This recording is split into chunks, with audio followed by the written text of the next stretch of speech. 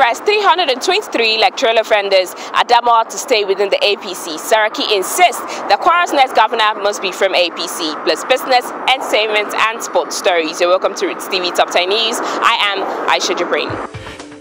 The Nigerian Police Force says it has arrested 323 persons across the country for alleged electoral offences during the February 23 presidential and National Assembly elections. The force had earlier arrested 128 persons. The national chairman of the PDP, Uche Secondus, has called us INEC chairman Mahmoud Yakub to prevent future consequences over the conduct of the presidential and national assembly elections ahead of the March 9th elections. He also called for the release of the son-in-law to its presidential candidate Atiku Abubakar.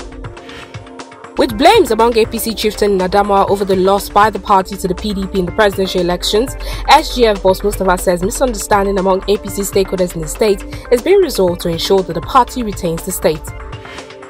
Former federal lawmaker Gbemisola Saraki has said that she would work hard to ensure that the APC produces the next governor of her home state, Kwara. She said she would ensure that the governorship candidate of the APC in the state, Abdurrahman Abdulrazak, emerged the winner of Saturday's election. The Imo State Governor Rochas Okorocha has distanced President Muhammadu Buhari for what he called lawlessness alleged being perpetrated in the APC by the National Chairman Adams Oshiomhole. APC National Working Committee had suspended Okorocha for alleged anti-party activities.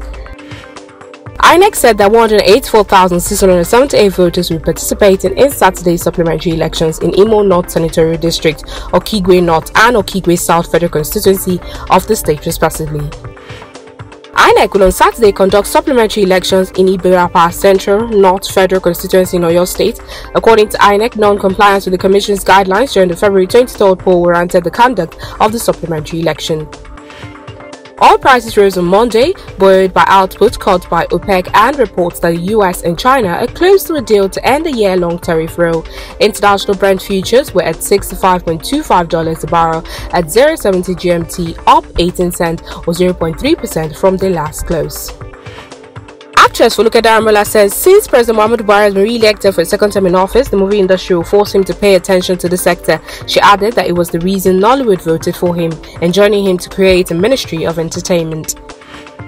La Liga leader said FC Barcelona has reached a deal with Sergi Samper to end the midfielder's contract.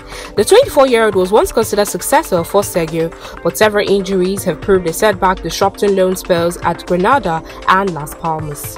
For more news updates, follow our social media handles as displayed on your screen. And that's the TV Top 10 News today. I am Aisha Jabrin.